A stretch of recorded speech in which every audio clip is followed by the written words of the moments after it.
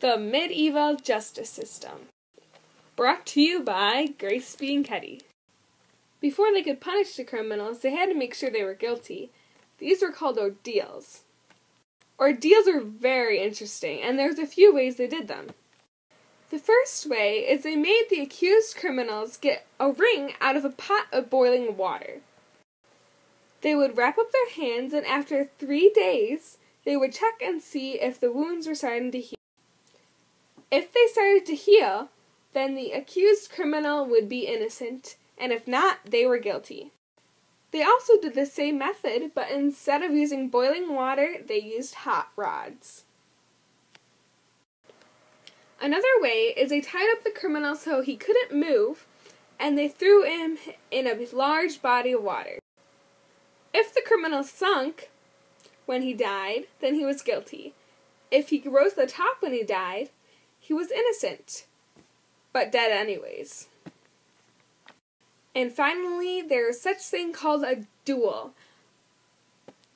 If the accused criminal won, they were innocent, and if they lost, they were guilty. The medieval people relied on God to take care of the criminals if they were innocent, causing their hands to heal, them to float, or them to win their duel. So, what if these criminals were guilty? Let's just say they did not have a very bright future. The medieval ages consisted of so many death penalties, there's too many to count. Depending on the seriousness of the crime and the type of crime committed, the criminals would either be tortured or tortured and then prosecuted. So, what kind of death penalties, you ask? Do you really want to know? One type of death penalty was called the brazen bull.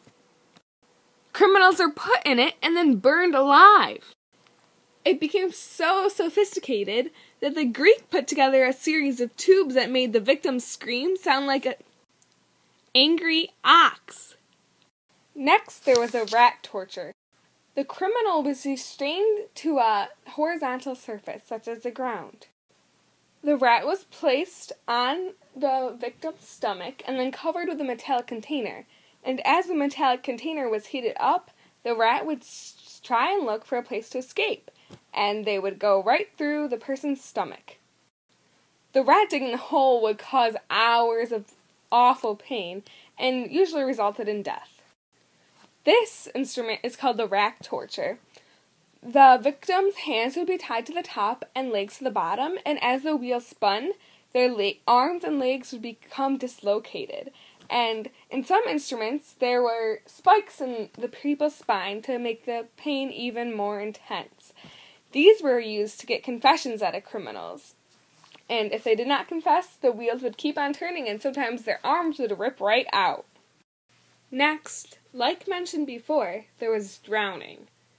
The victim's hands and feet would be tied and they would be thrown in a large body of water. This instrument was called the Maiden of Nuremberg, and it was a coffin like structure that had spikes that penetrated the parts of the body except for the vital organs, so the victim stayed alive and suffered for a very long time until finally dying.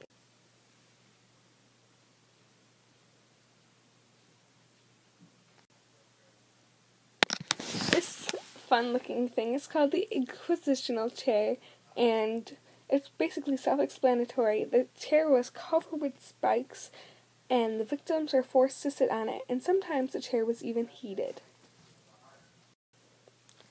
This object is called the heretic fork, and it was two forks pressed up against each other with a kind of a collar like structure, and part of it do- dug into the bottom of their chin, and part of it into the top of their chest.